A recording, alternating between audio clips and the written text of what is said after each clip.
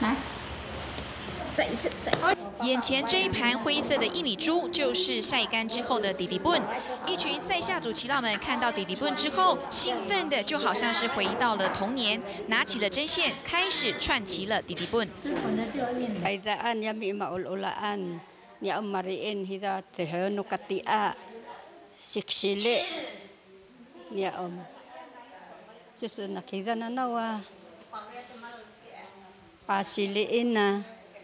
改的给大恩是过过人伊嘛伊嘛需要也没。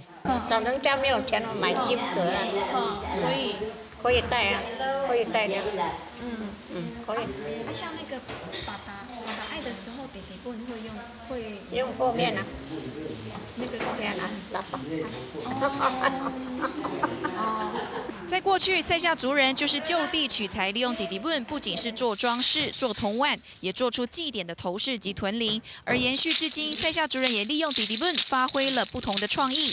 这个叫底底棍穿孔，嗯，所以我每次穿孔的时候，都会要看那个洞有没有清干净。嗯，玉米珠我们就是可以搭配这个彩珠跟这个铃铛或者一些金属类，就就可以做成那个。